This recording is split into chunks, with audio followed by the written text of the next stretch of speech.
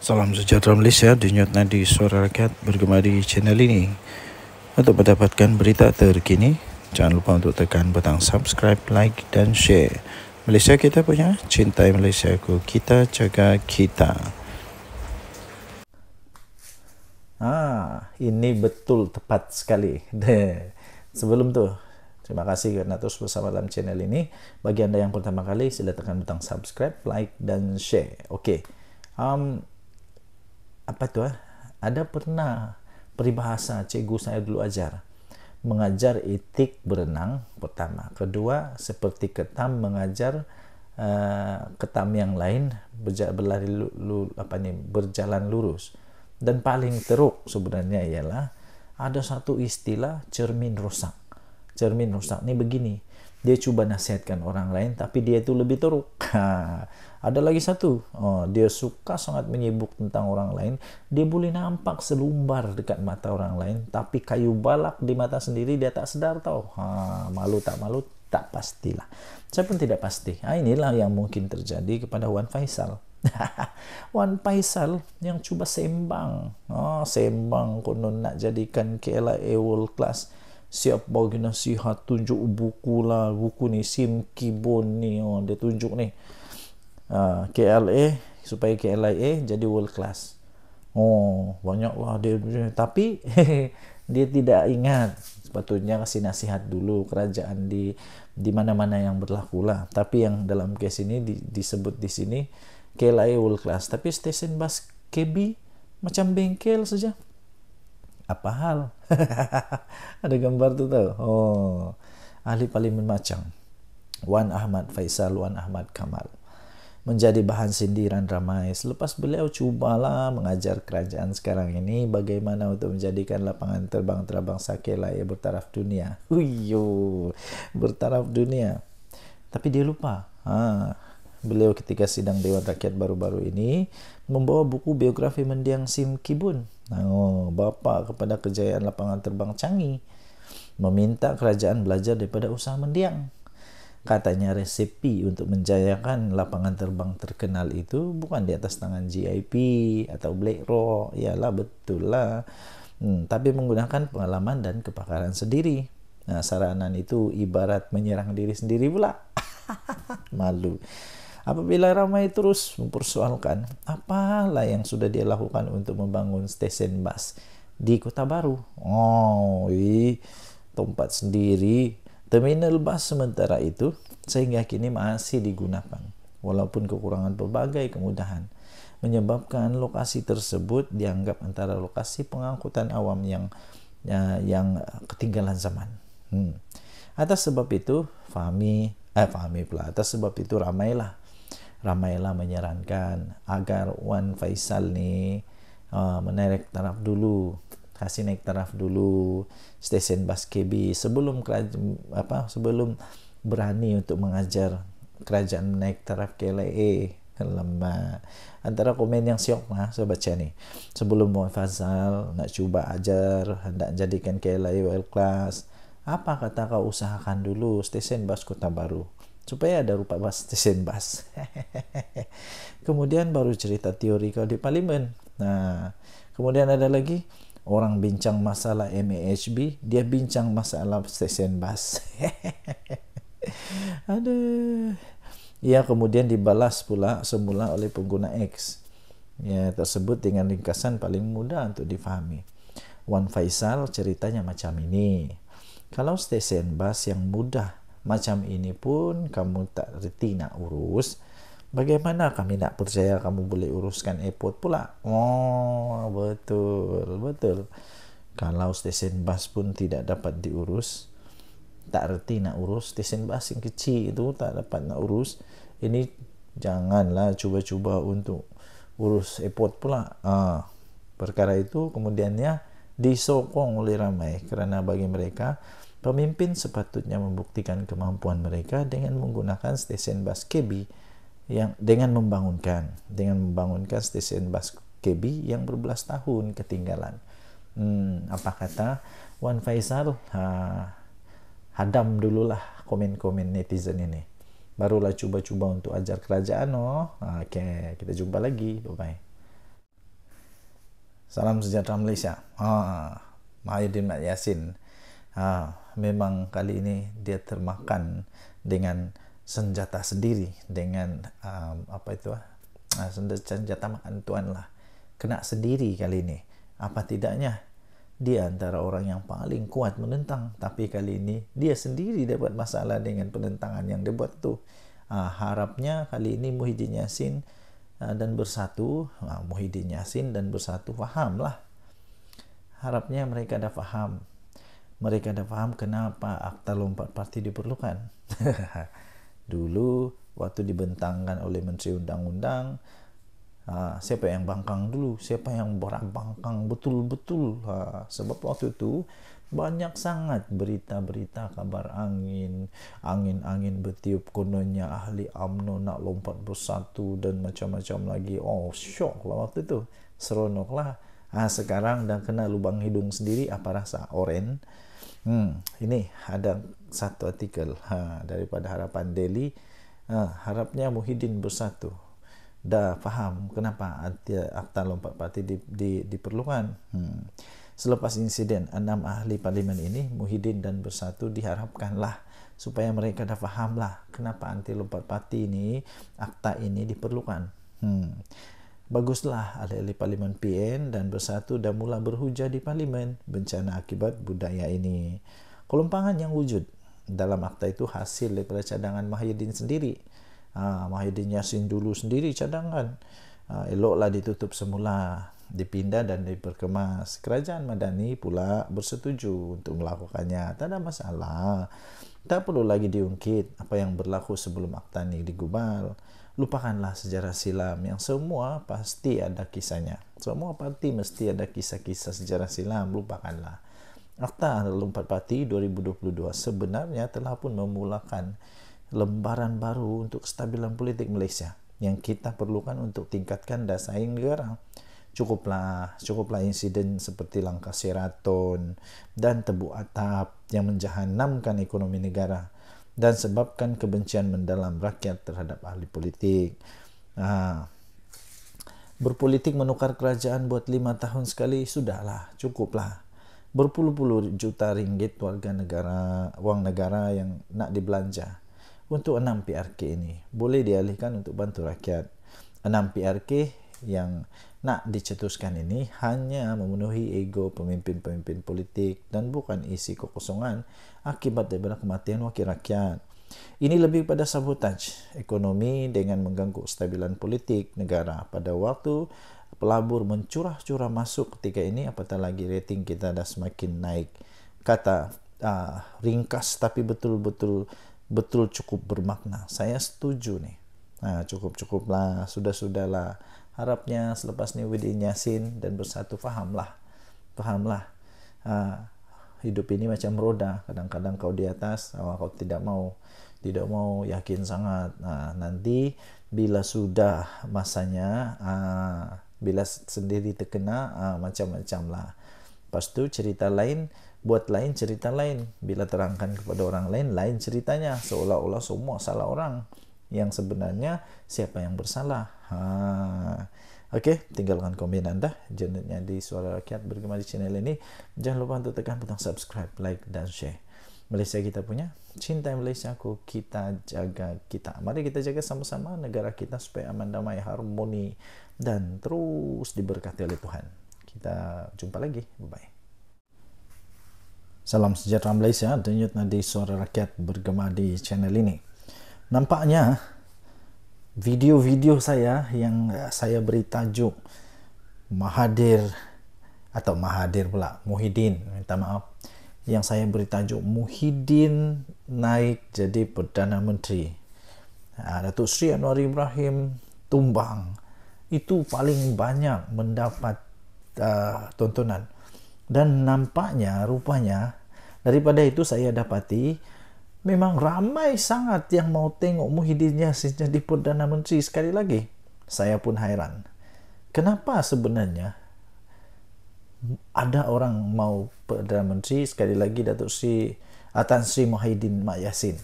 Pada pendapat saya, Bukan tidak boleh dia jadi Perdana Menteri sekali lagi, boleh saja. Tapi persoalannya ialah kenapa perlu dia lagi? Bukankah ada lebih ramai yang lebih bagus dan sebagainya? Dan uh, yang paling tepat ialah uh, dia tidak akan jadi Perdana Menteri lah. Dia tidak akan jadi Perdana Menteri untuk kali kedua dalam masa yang singkat-singkat ini. Tidak. Kerana tren sekarang, saya lihat Tan Sri Muhyiddin Yassin tidak akan mendapat sokongan untuk jadi Perdana Menteri bagi Perikatan Nasional. Nah, lagi pun seperti yang kita tahu, PAS pun pernah sudah menyatakan bahawa mereka pun ada calon Perdana Menteri pada pilihan raya yang lalu, iaitu calon mereka tidak lain tidak bukan Menteri Besar Terengganu. Dan itu sendiri pun uh, dipersetujui atau diperakui oleh Tan Sri Mahyadin Mak Yasin dia juga memperakui bahawa uh, Dr. Sam itu iaitu Menteri Besar Terengganu itu memang mempunyai kualiti memang mempunyai kualiti memang mempunyai kelayakan untuk jadi Perdana Menteri. Habis kalau sudah begitu mahukah lagi? Mahukah PAS Uh, membiarkan begitu saja jawatan Perdana Menteri jatuh kepada bersatu yang tak kuat mana sekarang ini? Yang ramai orang kata bersatu sekarang ini hanya berharap kepada kekuatan daripada PAS. Yang ramai orang kata bersatu ni hanya melukut di tepi gantang hanya mengharapkan kekuatan daripada PAS. Kalau ada pilihan raya pun kemenangan-kemenangan daripada bersatu itu pun hanya kerana isan bantuan kerjasama dengan PAS. Cuba kalau tidak ada PAS boleh menang ke bersatu? Ha.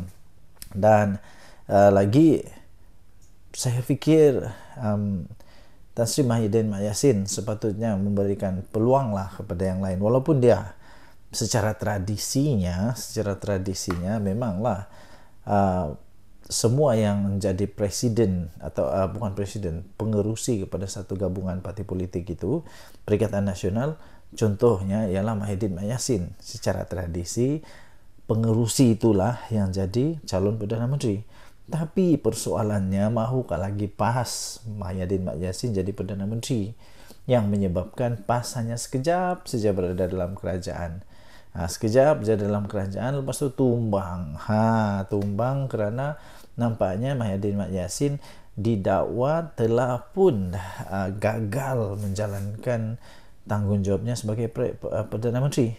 Mahukah kita Perdana Menteri kita sekali lagi yang tidak pun pandai bercakap secara live yang mahu di, di apa dirakam dulu takut untuk live takut untuk jawab wartawan mahukah begitu? Ah itu soalan-soalan yang kita boleh pertanyakan. Apa pun sebenarnya. Kalau memang Mahyadin Mak Yasin jadi Perdana Menteri sekali lagi itu bagus tidak masalah. Hmm, yang penting pastikan kali ini kerajaan yang betul-betul nanti ini betul-betul yang bagus lah tidak ada lagi sakau menyakau sampai ya anak menantu yang lari ke luar negara tidak berani balik Malaysia jangan ada macam itu lagi ya berhentikanlah perkara-perkara begitu Okey, denyut nadi suara rakyat bergema di channel ini. Jangan lupa tekan butang subscribe, like dan share. Bye bye. Salam sejahtera Malaysia, denyut nadi suara rakyat bergema di channel ini. Untuk mendapatkan berita terkini, jangan lupa untuk tekan butang subscribe, like dan share. Malaysia kita punya, cintai Malaysia ku, kita jaga kita.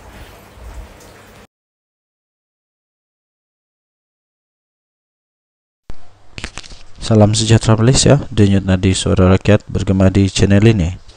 Berita terkini daripada malaysiakini.com. Berita bertajuk Formula Bersatu. Hamzah, Timbalan Presiden Azmin Ali Setiausaha Agung Bersatu. Berita penuh. Setiausaha Agung Bersatu Hamzah Zainuddin bakal naik pangkat bagi jawatan Timbalan Presiden pada pemilihan parti itu yang akan datang.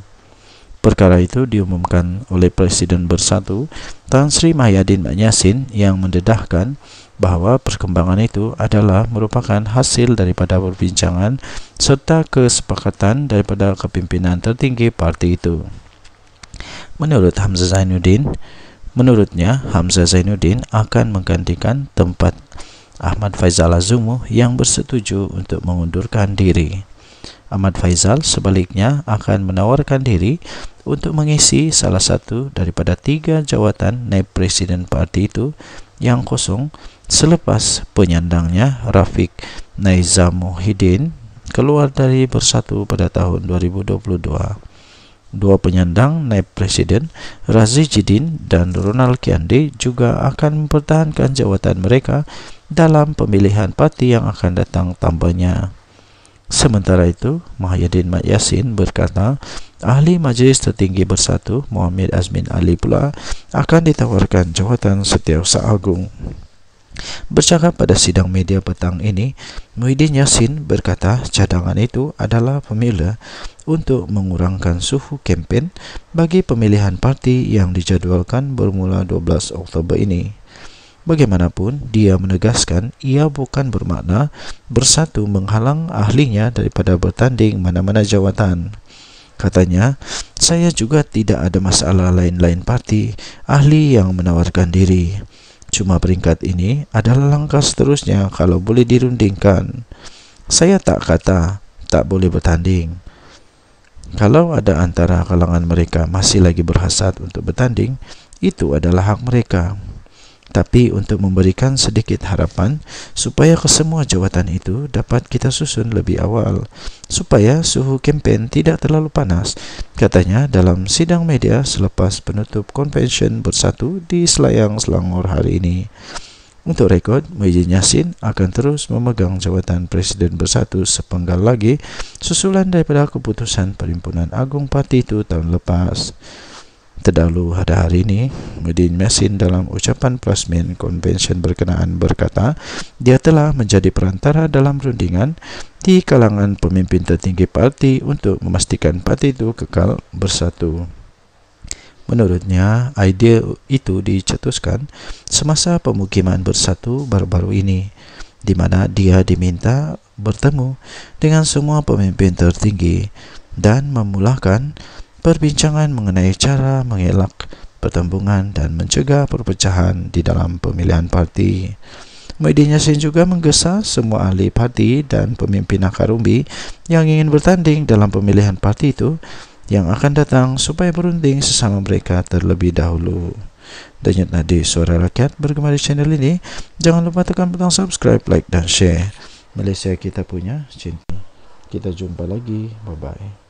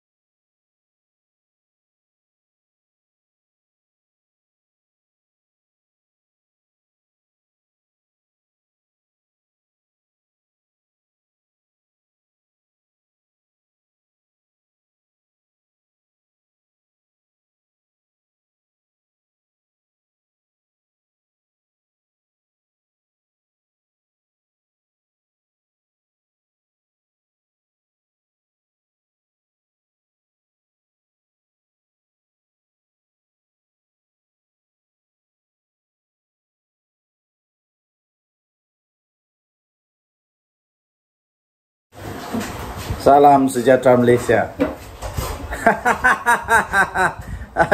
Saya belum bercakap lagi sudah rasa lucu. Belum saya bercakap pun saya sudah rasa lucu. Apa yang lucunya? Ada dengar kata, wah tadi saya tonton video Jumpa Asli. Dan dengan gelak yang memang lucu betul dia kata, kata Perikatan Nasional ada 11 ahli parlimen daripada Barisan Nasional akan melompat parti ataupun akan menarik sokongan daripada kerajaan selepas PRK Sungai Bakap Inilah cerita lucu, cerita dongeng. Inilah cerita paling tidak masuk akal untuk 1 Julai 2024. Dia kata, saya pun mau gelak juga lah. Entah cerita dari mana, entah uh, ini cerita kedai kopi mana yang uh, dapat ini. Dan entah tok kadok entah mana yang cerita ni, entah mana nenek kebayan yang cerita tentang benda ni. Tidak akan berlaku, tidak mungkin akan berlaku. Yang mungkin berlaku ialah disahkan mungkin um, mungkin ada lagi yang sokong PM. Wah, mungkin ada yang letak jawatan. Ah, daripada Perikatan Nasional. Ha, itu yang mungkin boleh berlaku. Hmm, kenapa? Sebab sudah ada anti lompat parti. Jadi kalau mau sokong uh, kerajaan tidak boleh sudah, susah sudah. Jadi satu-satunya cara letak jawatan lah. Nah, letak jawatan. Yang dari dulu Hadi Awang kata PM Anwar akan tumbang bila-bila masa. Tak sampai sudah sekarang bertambah lagi usia Tok Guru Hadi Awang. Satu tahun lagi.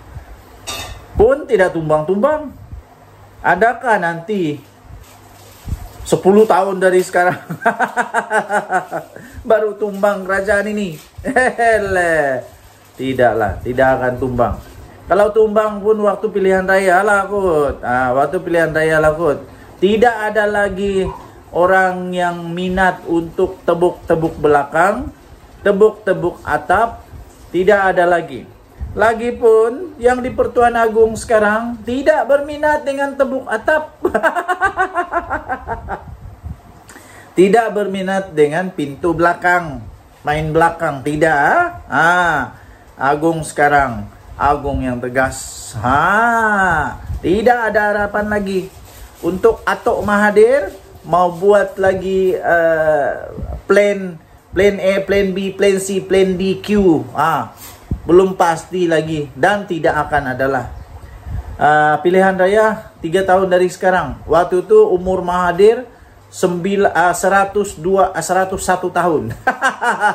Waktu itu umur Mahathir 101 tahun. Persoalan memanglah manusia masih ada lagi ke Mahathir waktu itu. Kalau dia masih ada pun masih kuat lagi kah untuk berjajah-jajah, menjajah-jajah kempen. Kalau dia jadi MP waktu itu, tahu? Kalau dia jadi ahli parlimen waktu itu, umur dia akan menjadi uh, umur MP paling tua. Masih boleh berjalan? Saya pun tidak tahu. Masih boleh jalan lagi kah tidak?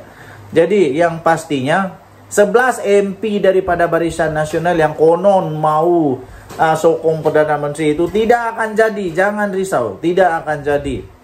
Nah, kalau ada, kalau berani, nyatakanlah siapa dia orang. Yang pasti tiada. Ha, ha, ha tiada. Kesian.